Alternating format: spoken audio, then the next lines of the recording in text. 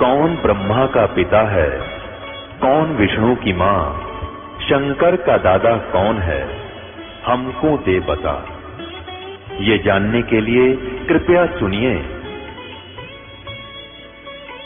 जगत गुरु तत्वदर्शी संत रामपाल जी महाराज के अमृत वचन सर्व पवित्र धर्मों के पवित्र शास्त्रों के आधार पर।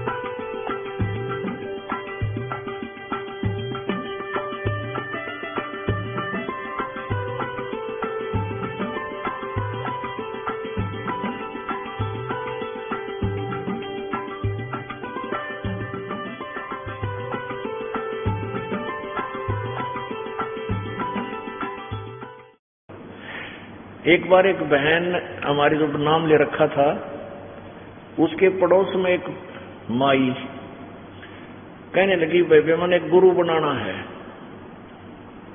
मैंने गुरु बता बढ़िया था तो वो कहने लगी, आप हमारे गुरु जी से नाम ले लो क्रोथा चालो रोज तक की थे वह बोले, ठीक से मैं नाम दिवाला वो आ गई, और हमने जो भी मर्यादा बताई, उसने हाँ जी हाँ जी, सारे सारे ठीक है, सब नियम करूँगी, नाम ले लिया। नाम लेकर आ गई फिर वह महीने, दो महीने, आइए कोई नहीं, तीन महीने हो गए। तो ऐसे ही वह बहन आई, जब उसको मैंने कहा, एक तेरे साथ वो बहन आई थी बेबे, वह ना आती? मिला जी, पता नहीं, मैं जाऊँगी। वह गई, उसको पूछा, कि आप गए नहीं, क्या बात होगी चलते नहीं। नो, बोली, मैं ना जाऊँगी बड़ा क्रोध है। क्यों? बोला तक गुरु बनाना था, बना लिया। नो सुना है गुरु बिन मोक्ष ना होता, गुरु बन गया। अनु बोली तो सारी पूजा करे, पूजा की करूँगी गुरु गुरु बनाना था मनता बताइए, नकड़े ती समझावे। कहाँ तक बुद्धि ठावे इनकी? इतने, इन नकली गुरुओं ने, नकली सिद्धांतों ने इतना बिगाड़ दिया मानव समाज। गुरुआ गाँव बिगाड़े, संतो गुरुआ गाँव बिगाड़े, और ऐसे कर्म जीव कला ये ईव जड़े नहीं जाड़े। अब परमात्मा हमें क्या बताते थे? ये सौदा फिर नाही, संतो, यो सौदा फिर नाही। ये सौदा फिर नाही, रे संतो, यो सौदा फिर नाही। लोहे जैसा ताव जात है, लोहे जैसा ताव जात है, काया दे सराही रे संतो, यो सौदा फिर नाही। यो सौदा फिर नाही रे संतो, यो सौदा फिर नाही। यो सौदा फिर नाही रे संतो। तीन लोक और भवन चतुर्दश, तीन लोक और भवन चतुर्दश, सब जग सौदय आई रे संतो, ये सौदा फिर नाही। यो सौदा फिर नाही रे संतो, यो सौदा फिर नाही। दुगने तिगने किए चौगने, दुगने तिगने किए चौगने किन्हू मूल गवाई रे संतो, यो सौदा फिर नाही। यो सौदा फिर नाही रे संतो, ये सौदा फिर नाही। उस दरगाह में मार पड़ेगी, उस दरगाह में मार पड़ेगी। जम पकड़ेंगे बाहिर संतो यो सौदा फिर नाही। यो सौदा फिर नाही रे संतो यो सौदा फिर नाही। जा दिन की मोहे डरनी लागे, जा दिन की मोहे डरनी लागे। लज्जा रे अकनाही रे संतो ये सौदा फिर नाही। यो सौदा फिर नाही रे संतो यो सौदा फिर नाही।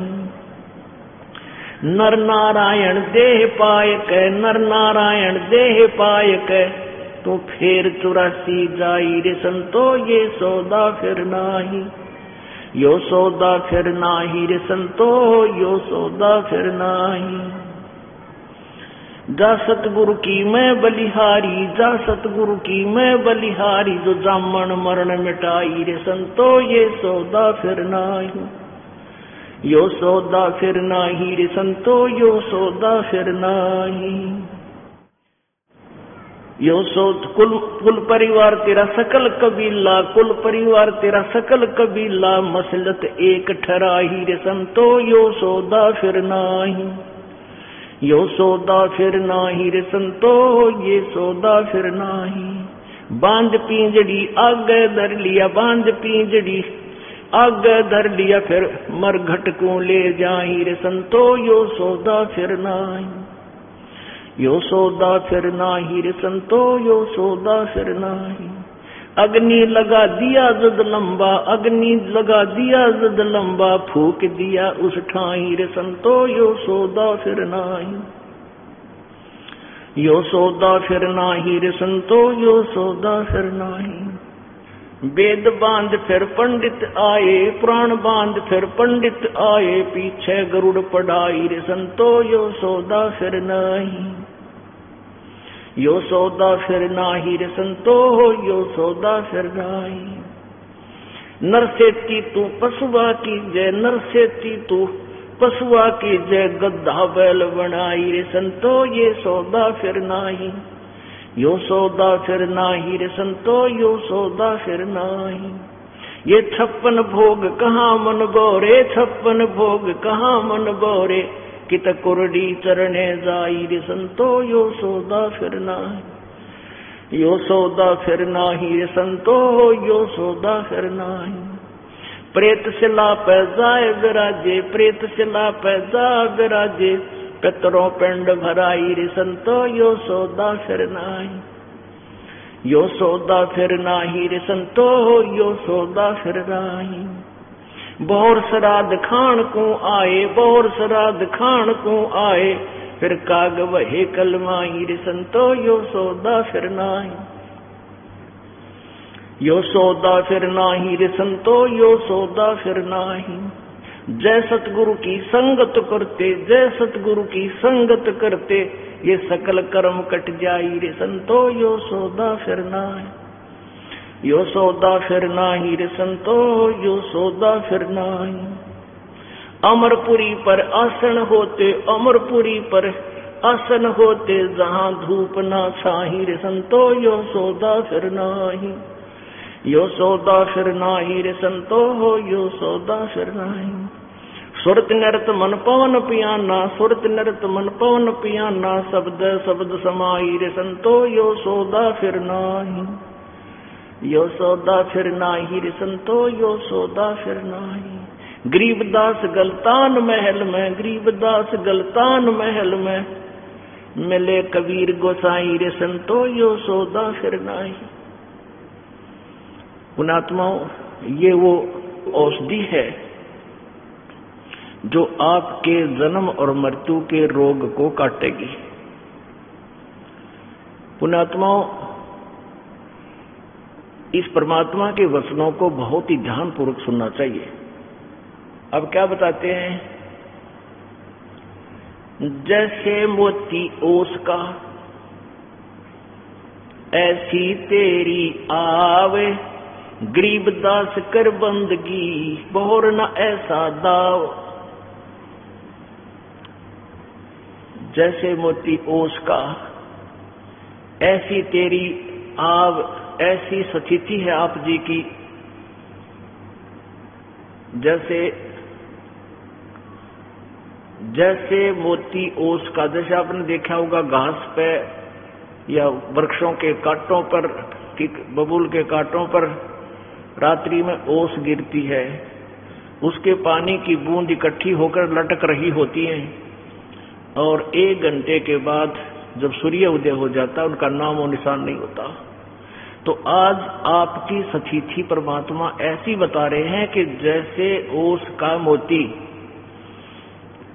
और फिर नामो निशान नहीं रहेगा आपका। इसलिए कहते हैं, गरीबदास करो बंदगी, करो भक्ति, बहुर नहीं, ऐसा दाओ। मानव शरीर या बिजली पीढ़ी और पूर्ण ज्ञान, पूर्ण समाधान, ये कदे कदे दाव लगा करता है कभी कभी और वो आपका लगा है पीछे नहीं रहना। तो क्या बता रहे हैं कि ये सौदा फिरना ही संतो, यो सौदा फिरना ही। ये मानो श्री बार बार नहीं मिलेगा। और लोहे के ताव जाते काया देश राही। जैसे लोहे को गर्म किया जाता है, कारीगर लोहार। पहले लोहे को गर्म करते हैं, एक ऐरण में देकर चला कर उसको भट्ठी बाढ़ के। और उसको तुरंत गर्म गर्म को निकाल के और दरका गणका ऊपर उस ऐरण के उस प्लेटफार्म से वह दरका दे, गड्ढा गड्ढा, दे। वो ज़बरदस्त चोट मारा रहा फटाफट।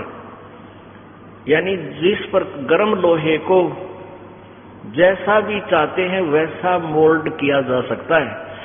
उसको तुरंत उस पर चोट मार के, यदि वो जरा सा भी ठंडा हो जाए तो फिर वो टेढ़ा मेढ़ा हो जाएगा चाहे कितने चोट लगा लो। तो ऐसे पुणात्माओं ये मनुष्य शरीर आपका लोहे के सताव है।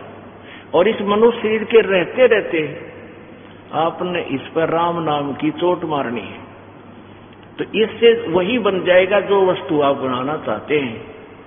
अर्थात इस मनुष्य शरीर के रहते रहते आप मोक्ष प्राप्त कर सकते हैं। क्या बता रहे हैं? तीन लोक और भवन चतुर्थ सब जग सौदय आही। वही दोगने तगने, किए चौगने, किसे न मूल गवाही। अपन आत्माओं, अपना मूल धन है ये मनुष्य शरीर, मनुष्य के श्वास, जीवन। अब जैसे कोई व्यक्ति एक लाख, दो लाख रुपए लेकर और कहीं बिज़नेस करने दूसरे शहर में चला जाता है और वहाँ जाकर के किसी धर्मशाला में या वैसे कहीं कोई रेस्टोरेंट में कोई कमरा बुक करा कर रहने लग जाता है। बहुत अच्छा। वो खर्च उसी में से कर रहा है जो लेकर गया था धन, मूल धन। और उसमें से फिर सौदा भी खरीद रहा है और उसको सौदे को खरीद के फिर दूसरी स्थान पर बेच रहा है या वहाँ अपने पैसे को बढ़ा रहा है, बेनिफिट को बढ़ा रहा है। तो ये था उसका प्रॉपर प्रोसीजर वो सही कर दिया है, ऐसा करना चाहिए था। और दूसरा उसका साथी दो लाख रुपये ले गया, होटल में कमरा किराए पर ले लिया।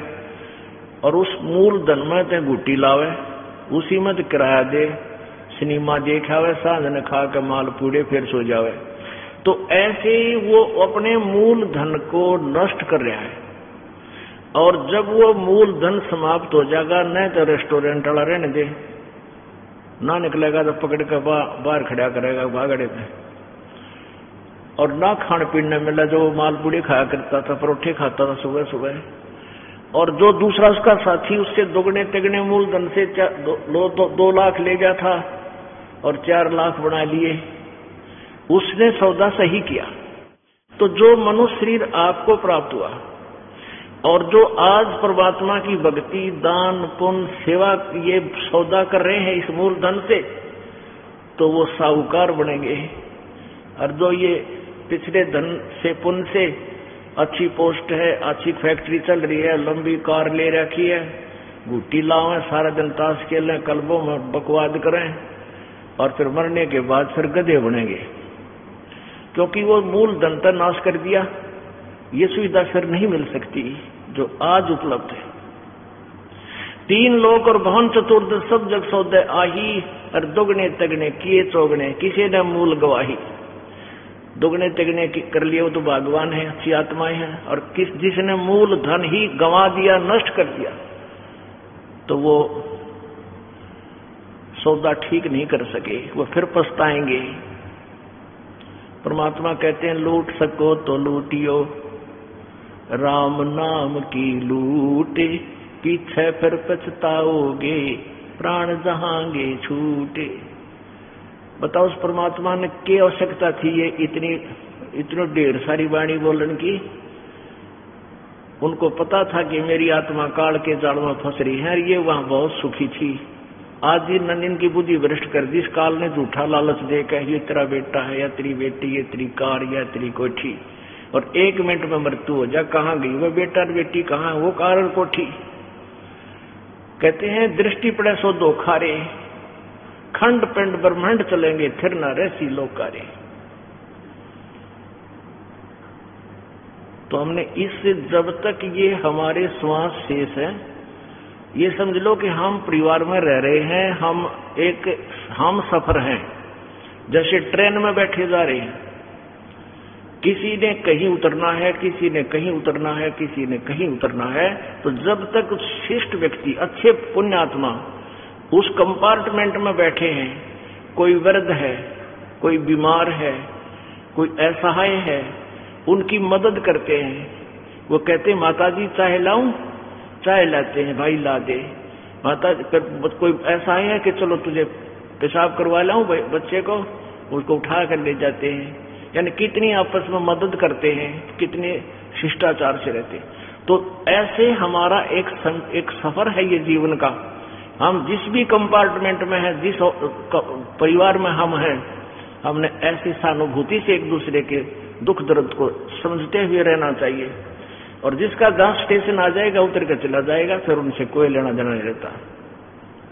तो जहाँ भी आपका जिसकी जब समय आएगा जाने का वो तुरंत चला जाएगा, फिर कोई लेना देना नहीं आपका। और आप उस कंपार्टमेंट वाले, न उस कंपार्टमेंट ने अपना मान बैठो तो फिर नशे में हो सकते हो, बुद्धिमान नहीं। तो हमारे को काल ने नशा कर रखा है। इस माया का, माया क्या है? त्रिगुणमयी माया से हम सबको भ्रमित कर रखा है। रजगुण ब्रह्मा जी, सतगुण विष्णु तमगुण शिव जी से निकल रही वो। जो वासना है, उसके कारण हम, हमारा चक्कर माइंड चक्कर खा रहा है। हमें समझ में नहीं आ रहा हम कौन है, कित बैठे हैं, क्या कर रहे हैं। कल समाचार पत्रों में पढ़ते हैं कि एक डॉक्टर था या किसका, इशार का, आँखों का, बहुत वेल नोन बड़ा प्रॉपर्टी थी। और तीनों, एक लड़का, उसकी पत्नी, और खुद कार एक्सीडेंट में मृत्यु होगी तो हमने आपका सब मारी पे, वो तो चलो मर गए। तो हम नहीं हो सकते क्या ऐसी दुर्घटनाग्रस्त? और हमारे चिंता को नहीं, जरा सी भी। क्यों नहीं? कबीर ये माया अटपटी, सब घट आण अड़ी। किस किस न समझाऊं या कुए भाँग पड़ी। ये माया अटपटी सबके घट में, सबके अंदर एक जैसी वृत्ति पैदा कर दी, जैसे भाँग पी दी किसी ने। एक कुएँ में किसी ने एक मन भाँग डाल दी, चालीस किलो। अब उस कुएँ के जल ने जो भी पीवे है, पाँच मिनट बाद उसका शर डूब जाए और उसमें से एक हजारन पी रखी हो जल। तो उनकी बोलन का शैली, चालन का तरीका, ऐसे ही डगमग सारे एक जैसे पाओगे। तो जिसने ये काल के इस नकली झूठे सुख को अपना मान रखे, सभी ने भाँग, या काल की भाँग पी रखी है। और इस भाँग के उतारने की एंटीबायोटिक, इस सतलोक आश्रम बरवाला में ही आपको प्राप्त होगी। और यहाँ आने से आपको पता चलेगा, हम कित बैठे हैं, के करण आए थे, या के समझ बैठे। तो ज्ञान से ही जानकारी हुआ करती है। सत्संग में आना बहुत ज़रूरी है आपका। और आखिरी सांस तक सत्संग से वंचित नहीं रहना चाहिए। कितना ही अच्छा फर्श है आपका, कितना अच्छा साफ़ सुथरा कमरा है, एक हफ़्ता बंद कर दो उस कमरे में। और फिर उसको हाथ ला के देखियो। धूल जमी पाओगे इसके ऊपर।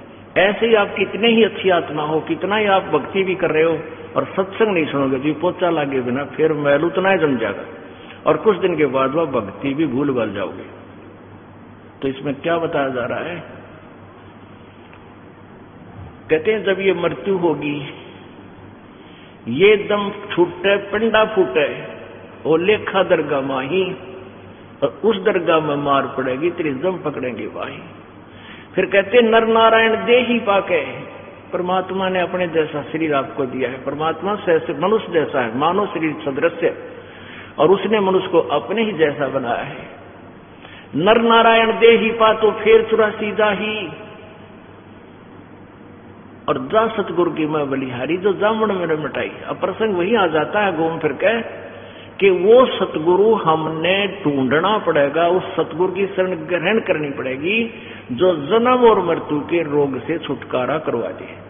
जैसे ब्रह्मा, विष्णु, महेश भी नासवान इनके पूजा करने से हमारा जन्म, मृत्यु का रोग नहीं कट सकता, जन्म, मरण नहीं छूट सकता। फिर ब्रह्म गीता ज्ञान दाता ब्रह्म विनाशवान गीता जी अध्याय नंबर चार के श्लोक नंबर पाँच में और नौ में कहता है कि, अर्जुन, तेरे मेरे बहुत जन्म हो चुके, तू नहीं जानता, मैं जानता हूँ. गीता जी अध्याय नंबर दो के श्लोक नंबर बारह में कहा कि, अर्जुन, ये ना सोच के तू और मैं और ये सब सैनिक पहले नहीं थे, या आगे ना होंगे तो नो ना सोचे अभी अभी है। हम पहले भी थे, जन्मे थे, आगे भी जन्मांगे।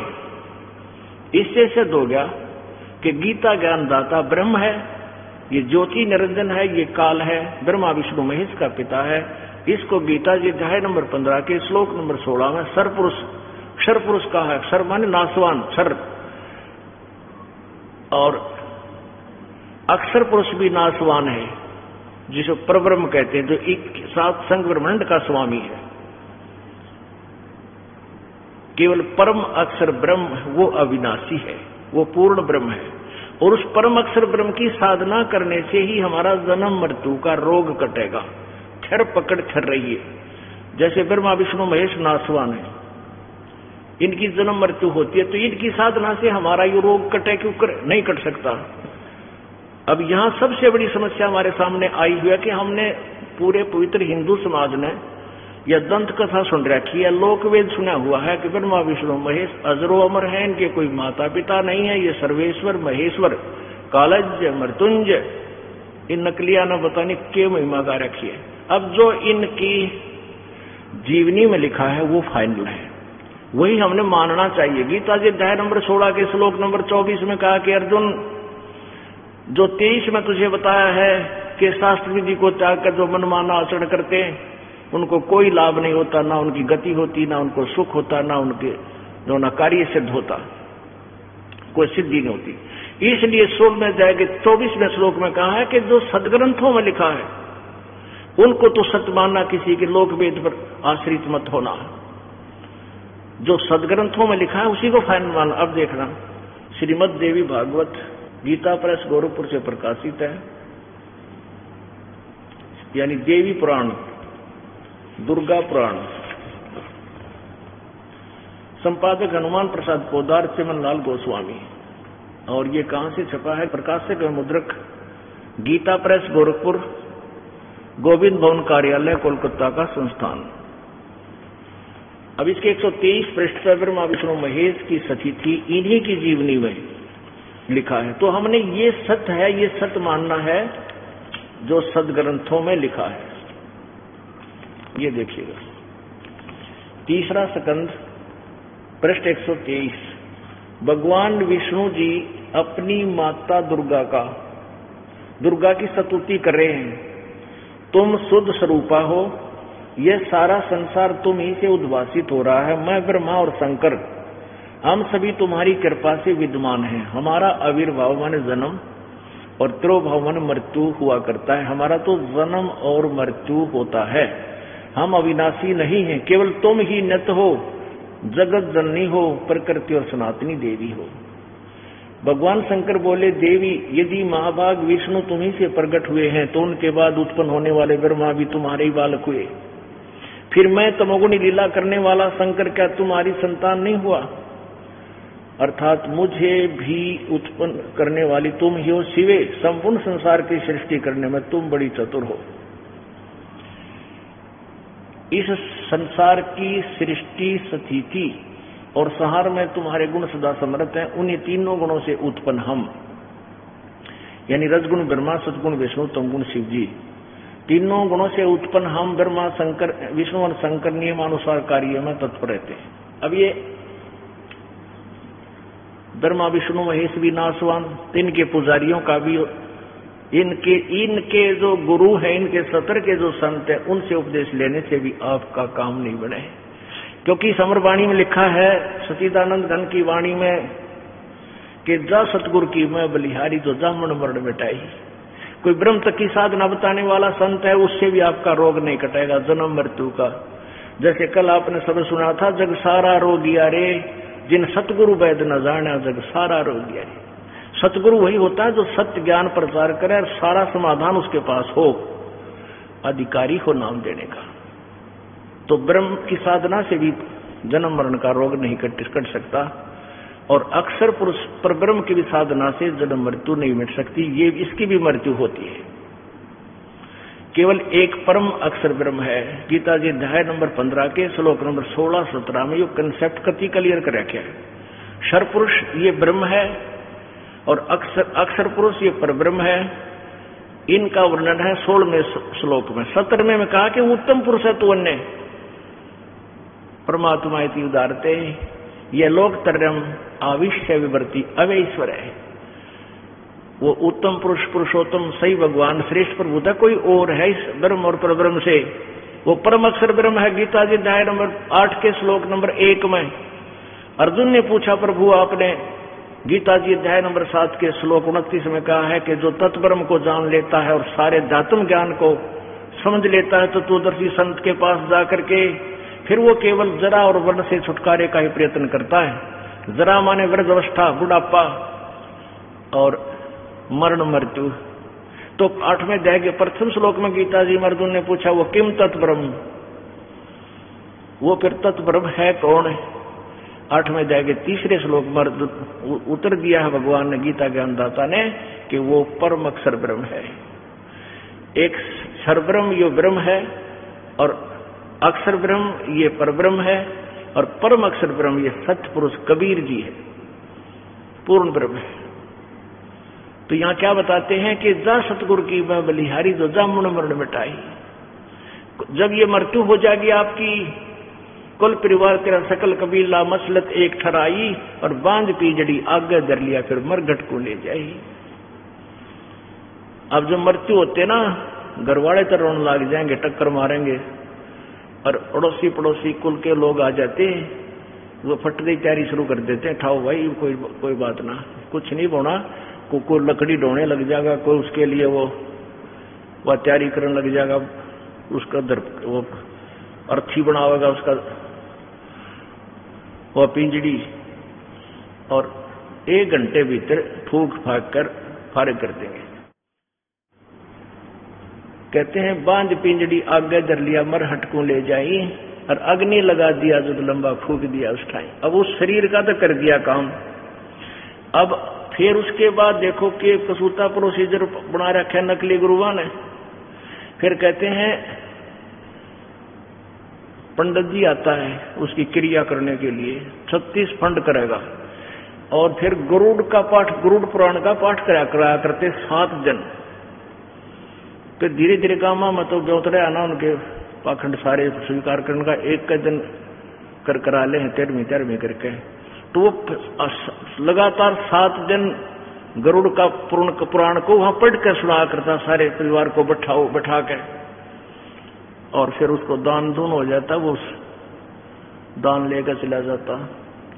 अब परमात्मा कहते हैं कि वो गरुड़ पुराण का पाठ उस जाने वाले के बाद में पढ़ाने से कोई लाभ नहीं। वो जीवित था तब गरुड़ का पाठ, उसको पढ़ाना था, गरुड़ जी का पाठ। गरुड़ पुराण में क्या है?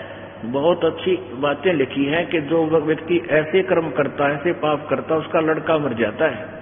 कोई ऐसा करता है तो उसके हाथ कटते हैं। कोई ऐसे पाप करता है तो उसकी आँखें फूट जाती हैं। यम के दूत उसको लेकर के जाते हैं। नंगे पैरों ले जाता है, जगह जगह भंडारे लग रहे होते हैं, जिन दान किया होता है वो भंडारे खा रहे होते हैं। और वो कहता, मुझे भूख लगी है, मुझे प्यास लगी है। यम के दूत कहते हैं, तुझे कुछ अलाउड नहीं है खाना पीना। तेरे मोगरे मारांगे तूने दान नहीं किया, तूने पुण्य नहीं किया, चल नरक में ठोकते हैं। वो बहुत पछताता है। तो परमात्मा कहते हैं, उसने सारी उम्र जो करना था बगैर ज्ञान के बेचारे ने कर्म फोड़ लिया, अपने सारे उल्टे काम कर गया, गलत साधना कर गया, और कोरे पाप इकट्ठे करके मर गया। अब उसके मरे पातशाह वो गरुड़ पुराण का पाठ उसके के सारा ला होगा? उसको पहले पढ़ाना चाहिए था ताकि वो बुराइयाँ तो बचता, डरता भगवान से, और ऐसे पापों से डरता वो पाप ना करता। तारे सारे उल्टे कर्म। और फिर कहते हैं तेरहवीं करी, किस लिए? गति कराने के लिए। फिर फूल उठवाए। अस्थियाँ उठवाई वहाँ से कि अस्थियाँ उठाकर गंगा में प्रवाह करकाओ और वहाँ क्रिया करवा का पंडिता दो रहे। इन गामाणा के एजेंट वहाँ भी हैं, उन गंगा घाट पे। इनकी सेटिंग होती है आपस में। अपुण अपुण्यात्माओं जीवात्मा चली गई। जैसे उसने कर्म किए थे, उन्हीं का प्रतिफल, उसको त्यार पाओगा। वो तो जाते ही जब मनुष्य का जीवन है तो मनुष्य बनकर आ जाएगा, कोई शेष रह होगा। यदि पशु बनना, पशु बन जाएगा, भूत बनना, भूत बन जाएगा। बस, ज़्यादा देर नहीं है वहाँ पर। ऑटोमेटिक कैलकुलेशन है परमात्मा की ऑलरेडी और पाछा हम इतना फंड करवा दिया, इन नकली गुरुआ ने कहते वहाँ जाओ गंगा में, अस्थि उठा के ले जाओ। अब वह राख खाली जाए फूक्या था। और चल पड़े कहा गंगा में प्रवाह कराने के लिए, गति कराने के लिए। एक भक्त की पत्नी ने नाम ले रखा, एक व्यक्ति की पत्नी ने नाम ले रखा था। और वो नाम ना लेवा था, नाट्य भी नहीं था, सिर्फ़ इससे बात पढ़ रहा था कि मैं अपने माता पिता की अस्थि ज़रूर उठाऊँगा। और इनकी सारी क्रिया श्राद्ध स्रोत निकाल कर फिर देखूँगा। ये इनकी शरीर छूट जाएगा, उसके बाद नाम लूँगा। मैं इनका कार्य क्रियाक्रम सारे करूँगा। नहीं तो मैं पाप का भागी हो जाऊँगा। इस तरह उठी अच्छी आत्मा का व्यक्ति था। नहीं नाम ले रहा था, उसकी पत्नी का समझाया भी करती थी और नहीं मानना था। एक दिन उसके ताऊ की मृत्यु होगी। उसके साथ वो चला गया। अस्थि उठाकर उसका लड़का ले गया, गेल वो भी चला गया। वहाँ गए ना गंगा घाट पर, वहाँ सब, वहाँ के पंडितों का, उन पंड्या का अक्षेत्र बांटा हुआ है। उसको पता चला कि हरियाणा से आई है तो वो एक व्यक्ति आ गया कि, आजा आजा, तू हमारा यजमान है। उसके पास चला गया। उसने निकाला, कौन से गाँव का आए हो? वो गाँव नाम बता दिया, उसने पूरी पूरी उलट पुलट कर देखा नो बोला जजमान इबका तो बहुत जन्म आए तुम। तो वो लड़का कुछ तो ज्ञान सुन ही रहा था, उसकी पत्नी रोज बताया करती, वो व्यर्थ तो नहीं गया उसका, फिर उसकी वह बुद्धि का पर्दा हट गया। अरे दुश्मन तू तो हमारा रोज मरण की बात देखा है, रोज मरण, जल्दी जल्दी आवे वहाँ तो नहीं बोला, पर उसके दिल में खटक ज़रूर लाएगी वह बात तो यह सच्ची है। तो फिर उसने वो नाम लिया उन्हें आत्मा के वह बात समझ में आ गई सचमुच ये तो नालायक आदमी है। तो तो खुशी मनाओ हरने को बहुत जन्म आए तुम तो जल्दी आया करो। उद्देश्य यही था उनका कहने का। फिर तेरहवीं करते गति कराने के लिए। तेरहवीं पाछे फिर के कहेंगे श्राद्ध निकालो। पहले तो गणे पंडित आए महीने। पंडित जी आया करता, आए महीने, महीना। फिर छह में छह माई करते, फिर वर्षी करते। और वर्षी करके फिर एक और पंगा पा दिन के भी इसके श्राद्ध निकालो। आसुद के महीने में जिस तारीख को, जिस तिथि को मेरा था अठवीं या छठना है, वो सोलह दिन सिलेक्ट करा के महोत्सव से लेकर प्रवासी तक। उनमें से एक दिन, जिस दिन वो मेरा था, उस दिन फिर श्राद्ध निकालो।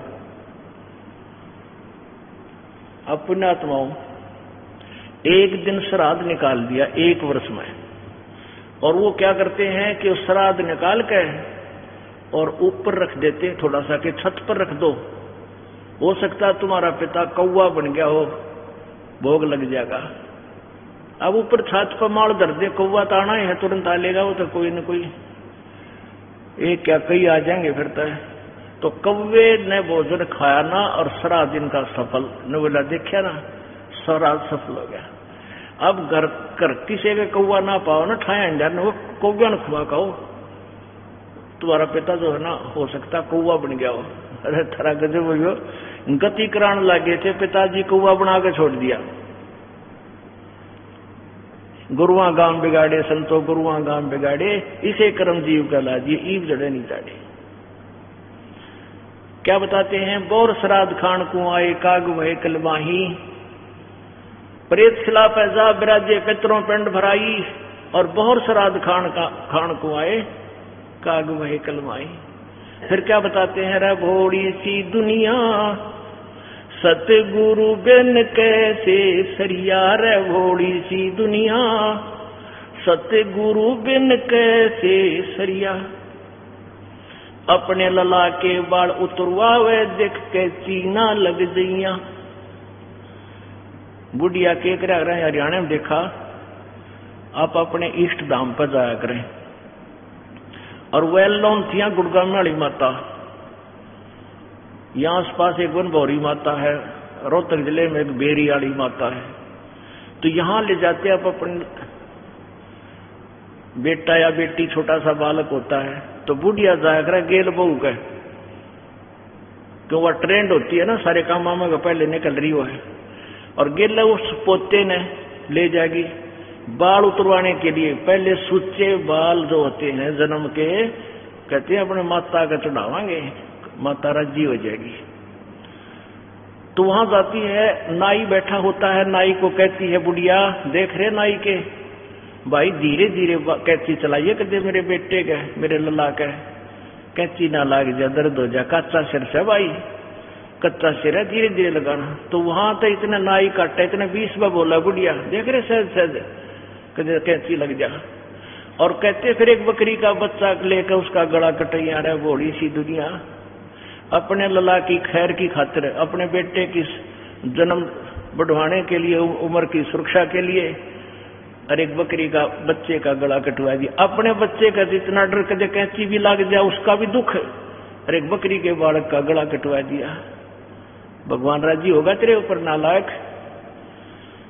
अब क्या करते हैं? वहाँ बहुत जल्दी होती है, भीड़ बहुत हो जाती है, नाई थोड़े से होते हैं। तो बुढ़िया कह के ले भाई, जल्दी काट जल्दी काट। अरे, थोड़े से बाल काट दे, बाकी तो मुड़े कटवा लेंगे। अब वो चार कैंची मार के इतने बाल दे दे, बार दो रुपया में कट्टा है तो पाँच रुपये लिया करें। घना रेट ले। और वह बुढ़िया लेकर उन बालों को मंदिर में चढ़ावेगी आदर के साथ। और पुजारी उसने ठाकर कट्टे में ठोक देगा, बोरी में, और साँझ ने कुरडिया पे घेर देगा ठाके। ओके बैंक में जमा करा होगा उसने भी कुरडिया पे घेरने रात में। तो परमात्मा कहते हैं, तुम आप पे घेर दो कि के न क्यों उठाए आंडो ब्रन माटी करो उसके और वो पाड़ रखे खागड़ खाम खा के उड़ा मंदिरा में। तो ये जो बिना ज्ञान के हम बगैर तत्व ज्ञान के डले ढोरे थे, इसे क्लियर करना चाहते हैं परमात्मा। रे भोड़ी सी दुनिया, सतगुरु बिन कैसे सरिया रे भोड़ी सी दुनिया। सतगुरु बिन कैसे सरिया? अपने लला के बाल उतरुआ वे दिख के चीना लग जइया। अपने लला के बाल उतरुआ वे दिख के चीना लग जइया। एक बकरी का बच्चा लेके उसका गला कटैया रे घोड़ी सी दुनिया। सत्य गुरु बेन कैसे सरिया? भाई कच्चा पाका भोजन बना के माता धोकने गैया उस माता ऊपर कुत्ता मुते, वो क्यों ना मर गैया रे घोड़ी सी दुनिया, सतगुरु बेन कैसे सरिया। हमारी दादी, माता तो क्या करती हम छोटे छोटे थे। वहाँ सारे बाण भाइया इकट्ठे कर लेंगे हमने, और पूरे तार लेंदी ने काचे पाके। मेरी ताई की ड्यूटी थी वह। बनाने की माता के भोजन। मेरी दादी ने कभी घाल देन थोड़ी सी। वन कही काचा रह घाल देन काचा देर हो गया फिर। उन्हें बेरा कुच्चा न खाना है और माता को सिखाओ थी पर वो ज्ञान के में था नहीं, वो डड़े डोने ज़रूरी थे। तो काचे पाके जिसे पूड़े बना रखे थे वह लेकर, और फिर कहाँ डालते हैं ये बुढ़िया? एक पाँच चार ईंट ला रखी होती है ऐसे। एक चबूतरा सा बना देते हैं गुणी अच्छी शान बनाओ तो देवता की। और वहाँ वो पूड़े डालते ही बुढ़िया नीचे उतरे, पाछे कुत्ता पहले चढ़ ले। पहले तो उस सारे पूड़िया न खावे, जो उसका माल चढ़ा रखा था। और चलते समय उसका सिर पर मुँह हुआ कुत्ते ही बाण बुंडी उसे तो परमात्मा कहते हैं कि कच्चा पाका भोजन बना के फिर माता धोकने गैया और उस माता ऊपर कुत्ता मुत्ता वो क्यों ना मर गईया रे घोड़ी सी दुनिया। यदि वो तेरी माता में इतनी शक्ति है, तेरे परिवार को सुरक्षित रखेगी, वो अपनी सुरक्षा नहीं कर पा रही।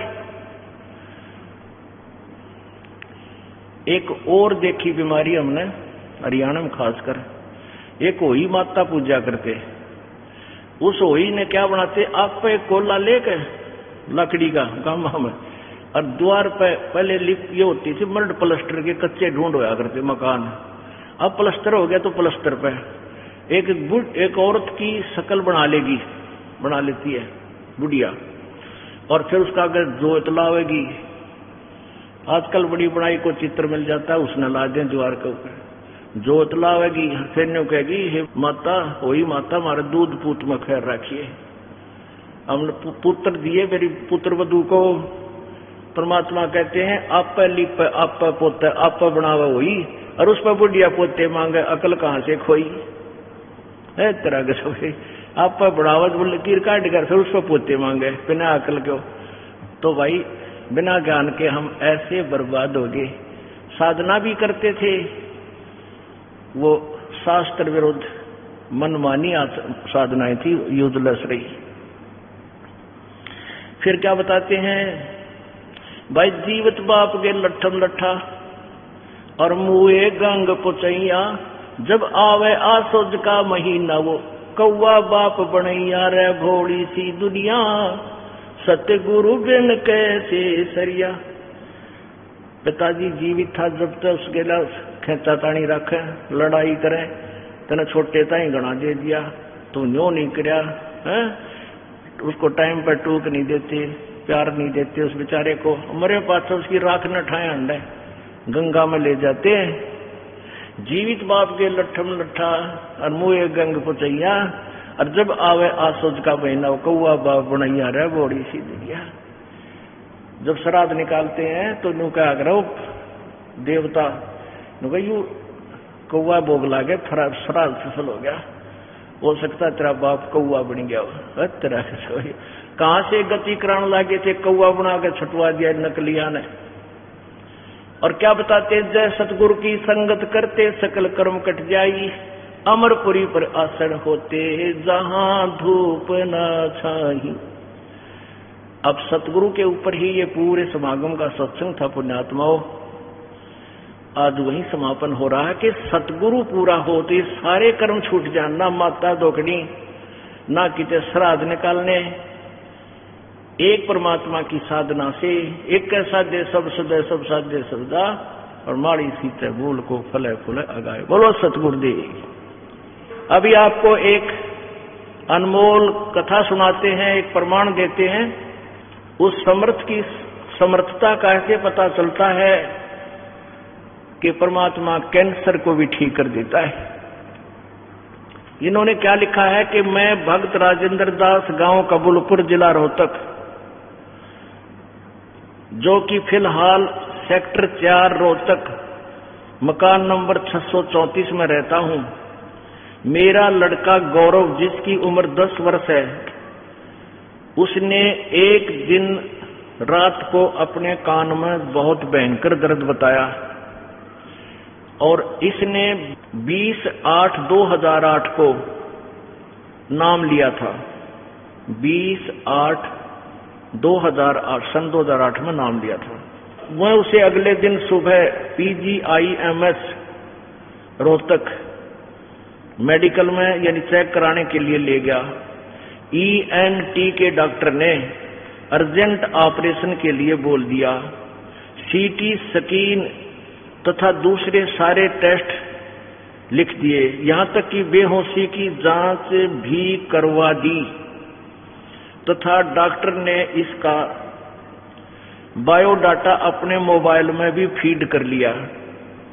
ऑपरेशन की डेट आने से पहले ईएनटी के डॉक्टर एसपीएस यादव, जो कि हेड ऑफ़ द डिपार्टमेंट है, ने इसको कैंसर घोषित कर दिया। सब जाँच करके सब टेस्ट देख के। और बोल दिया कि आप अपने बच्चे को कहीं भी दिखाइए।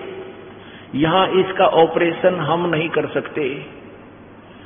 डॉक्टर के मुँह से ये सब सुनकर हमारे पाँव तले की धरती खिसक गई। मैं और मेरी पत्नी वहीं से रोते हुए चल दिए, क्योंकि यह लड़का हमें 10 साल के बाद प्राप्त हुआ था, शादी के 10 वर्ष के बाद। इकलौता पुत्र, सभी रिश्तेदारियों को इस लड़के से प्रेम था। अगले ही दिन हम अपने गुरुजी के पास बरवाड़ा आए। गुरुजी से प्रार्थना की। गुरुजी ने हमें बोल दिया, इस दास के पास आए थे, बुरी तरह रो रहे थे, दोनों कुछ नहीं सुन रहे थे, हाहाकार मचा रखा था। मैंने कहा, बेटा, यदि तुम्हारा, तुम्हारे अंदर सत्यता है, भगवान के तुम सच्चे लगन से साधना कर रहे हो, इस लड़के का कैंसर नहीं पाओगे, कितना टेस्ट करा लो। अब ठीक है, इन्होंने आज्ञा का पालन किया। फिर भी आल वहाँ ले गए इनको कहा A I M S Delhi. हम अगले दिन A I I A I I M S Delhi लेकर गए। तो वहाँ के हेड ऑफ़ द डिपार्टमेंट ने इसकी सारी जाँच की, तथा लड़के की, तथा लड़के को भी चेक किया। फिर बंदी छोड़ की कृपा से डॉक्टर ने बोल दिया कि आपके लड़के को कैंसर नहीं है, कान की हड्डी बड़ी हुई है। बोलो, सतगुरुदेव।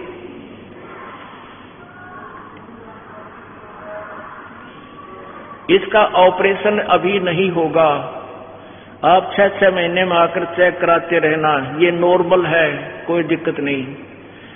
अपनात्मा आगे देखो, वही बात जो दास ने अभी सत्संग में बताई है कि हम सभी देवी देवताओं की पूजा करते थे और माटियाँ होती थी। ये क्या कहता है कि मेरे, जब इस लड़के को ये कैंसर डिक्लेयर हुई तो हमारे रिश्तेदारों ने, सभी ने ये कहा कि तुमने देवी देवता छोड़ दिए और इसलिए थरी माटी होगी। ये कहता है कि मैंने उनसे बोल दिया कि हमारा से कुछ भी हो, हम कोई पूजा नहीं करेंगे, अपने गुरु जी के अतिरिक्त मार्ग बताए उस अतिरिक्त, हम कोई साधना नहीं करेंगे। इससे पहले हमारे सभी रिश्तेदार कहते थे कि तुमने अपने देवी देवताओं को छोड़ दिया, अब तुम उनको मान लो। हमारे ऊपर बहुत दबाव आया, बंदी छोड़ की दया से हमने कहा कि सिर्फ़ हमने सतगुरु तत्वदर्शी संत रामपाल जी महाराज को ही मानेंगे। ऑल इंडिया में जाने के बाद हमारे सभी रिश्तेदार भी को भी यकीन हो गया कि भी तुम्हारे संत तुम्हारे लिए तो परमात्मा ही है। आज कहते हैं उनको भी यकीन हो गया, जब ये करलाट माच गया था रो राट माच रही थी, अगले दिन खुशी के लहर दौड़ा दी परमात्मा ये दोनों तीनों फिर वापस आए, इनकी खुशी का ठिकाना नहीं था। तो ये वो परमात्मा है, वह कबीर भगवान। कहते संत शरण में आने से आई टले बला जय मस्तिष्क में सूड़ी हुआ काटे में टल जा। के देर लगे दाता ने बीमारी बदलते? ये आपके सामने है भक्त राज सिंह, गाँव कबूलपुर, जिला रोहतक। और वर्तमान में ये सेक्टर चार रोहतक मकान छह में रहते हैं, ये इनका मोबाइल नंबर है। इन्होंने अपना सारा कुछ एड्रेस दिया है। आप बताओ कुछ मैं ज़्यादा कुछ तो नहीं कह सकता लेकिन भक्तात्माओं को अपने परमात्मा की पहचान होनी चाहिए। और अगर आज पूर्ण संत है तो रामपाल महाराज के अलावा इस पृथ्वी पर कोई संत नहीं होगा। जय हो बंदी छोड़ की। सत्य है अब जो मैंने ये घटना सुनाई आपने लिख के दिया सच्ची है? पूर्ण सत्य है गुरु जी पूर्ण सत्य। अब ये बोलो सतगुरु की ये लड़का इनका क्या नाम बेटा तेरा? गौरव। गौरव नाम से इस बेटे का दस साल की उम्र है इकलौता पुत्र। आज इनके चेहरे की खुशी देखो और जिस दिन ये आए थे यहाँ दास के पास उस दिन इनका बुरा हाल देखो। तो कहते हैं संत शरण में आने से आई टड़े बला जय माथे में सूड़ी होगा काटे में टल जाए बोलो सतगुरुदेव। की जय।